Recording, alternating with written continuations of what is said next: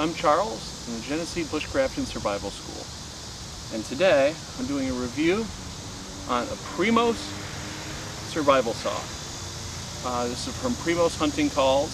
Um, my budget was right around $11 on Amazon. Is what I purchased it for. And a few things about this that I noticed right off the bat. Um, for the price, it's more than I expected. It's got a nice green rubberized handle, uh, silicone rubber, whatever it is. It has a decent quality blade and a nice lock. Clips into place, push button to unlock. The saw blade is nice and flexible and whippy. It's got crosscut teeth, which are pretty fantastic. Um, the big thing is that this little strap in the back is basically just yarn.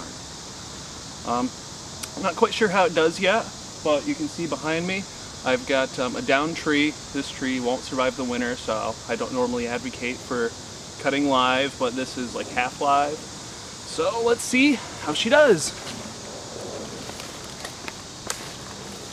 About two and a half, three inches of girth. And Nice, smooth, even strokes. Not putting weight in it. Keep in mind, this is green.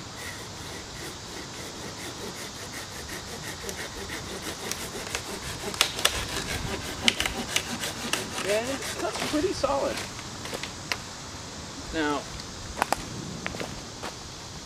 that was green. I am going to take this to dead and seasoned and dry. We'll see what happens.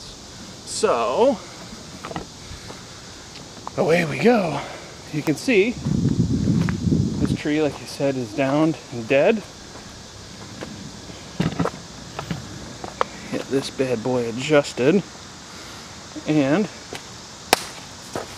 we're gonna be going after this bad boy here. Now let's see. Keep in mind this is not a weight bearing branch. I made sure of that.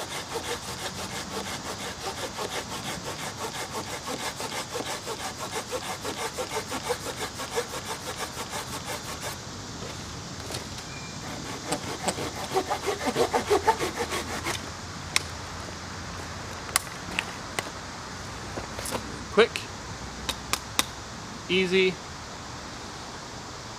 I must say, I like it very much.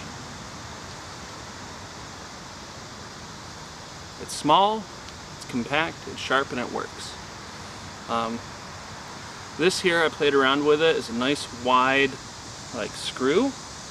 You can loosen it up by hand, whether it be a coin, whether it be the back end of a knife, so you can replace the blades. And that's something that I am going to say. The sheath is very simple. Um, you'll probably want something more robust. These simple loops and basic nylon is kind of flimsy. But it's got two pockets on the inside. One, I assume, is for the saw proper. And the other one for replacement blades. So overall, for the $10, it was a fantastic buy that's something that definitely cuts a lot easier and nicer than say an axe would and it functions really really nice. So that's it for today. Thanks for watching the video and the review on the Primos survival saw. Link is down below in the description. Um, subscribe check out our website for the school. Thanks again for your time and you have a fantastic